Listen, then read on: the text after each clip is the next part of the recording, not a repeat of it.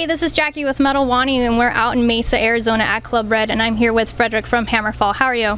Fine, thanks. You? I'm doing well, thank you. So you guys are on tour right now with Delain. How's the tour been going so far? It's been really great so far. I mean, way better than expected, actually. Uh, I mean, it was seven years since we were out in, in North America tour. Yes. So it's been a long time, and this was kind of see where we where we stand, if it's possible to to tour this area, and it's been really good. Yeah. A lot of the shows have been sold out. Yeah. It seems like most shows have been really packed and almost sold out or sold out. So yeah, really good. So your latest album, Built to Last, has been out for a bit now. Would you say you got a really good fans response to the album? Oh yes, I mean, um, being able to do this uh, after 20 years and, and people are still excited for a new Hammerfall album, it's such an honor. And uh, this record has been really well welcomed. I, I, they, I mean, on on the um, on the shows we do, the the new songs is really appreciated. Yeah. So yeah. So with this album, do you feel like you hit a critical point of uh, creativity, or do you think that you still have more to surpass? Oh yeah, I mean, it's always hard to to reinvent yourself for for every record, and 20 years and 10 albums, it's it's a long way.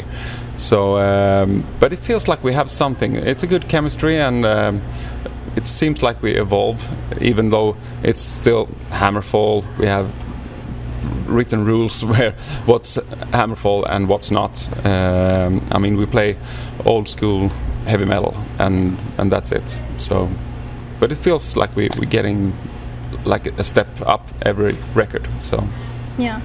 What was the inspiration behind this album? well, it, that's a question for for Joachim and, and Oscar most. Uh, I take inspiration from everything, and but I I just create my my own bass lines for the most part, and I'm not involved in the in the songwriting process. Were you involved in maybe deciding the artwork or some part of that? No, um, I know for this album, uh, Joachim just had an idea, and he talked to Andreas Marschall for the cover artist. So they they took some ideas back and forth, and uh, it ended up with this. Most of the um, covers are very consistent, and they kind of have a same theme going on. So Yeah, I mean it's Hector, our our mascot. Yeah. Um, and um, it's it seems like Joachim wants to to do something that reflects the album. So um, yeah, he usually have a vision about it and, and speaks about to the to the to the artist. So on this album, you guys did kind of go more for a classic Hammerfall type of sound with epic anthems. Is that something you think about before you write a song, or just naturally happens? Uh, I, I mean, we think we wanted to do classic heavy metal the way that we want to listen to it, and um, and you have to, to progress and do something that still sounds fresh. So I think um, Fredrik Nordström, uh, the producer, really hit the spot with this album. It's it's it's really up to date, but still sounds like classic Hammerfall. What was? Um, did you do anything different on the writing and recording process for this album? Uh, not actually. I mean, this this album is uh, almost the same setup as uh, Revolution. Uh, recorded the same way with the same people, and it worked so good when we came back after the break and we recorded Revolution. So we really wanted to to um, continue on this path. The only big difference is that uh, David is playing the drums instead of uh, Anders, of course. Did you set aside time to write uh, the music, or do you write on the road? No, Oscar sets up times. He, he really needs to sit down and um, push himself. So, okay, I need to work between these hours and, and uh, try to do something, Uh, even if it's not ends up o- on the record. I need to do something, uh, and the more he, he does, the, the more uh, energy he gets, and, and to, to write the, the good stuff. So, uh, Sweden has brought us very many uh, amazing metal bands from Meshuggah, Candlemass, and more. Do you think that the diverse group of bands that come from there is a reason why Sweden is put on kind of the metal map of the world? Yeah, I mean, there's a lot of when when when I grew up uh, in and played music in the 90s. Uh, there was a lot of um, death metal bands coming from Gothenburg area, Yeah. and um, and that the Gothenburg sound obviously, and they kind of it's a small city. It's not a big city, so uh, everyone went to see the other bands, and uh, if someone had a success, uh, they thought that why we can have success too. So so it was kind of a snowball effect, I, I think, and um, I mean we we grew up with a lot of music around us, and we have music in school, and it's easy to get a rehearsal space, and uh, they encourage us to, to, to play. So yeah, we have a good environment for for for artists, I guess. Yeah. In a recent interview with Lordi's frontman, he said that in Finland, a lot of people are starting to like more rap and other genres rather than metal. Do you think that that's happening in Sweden?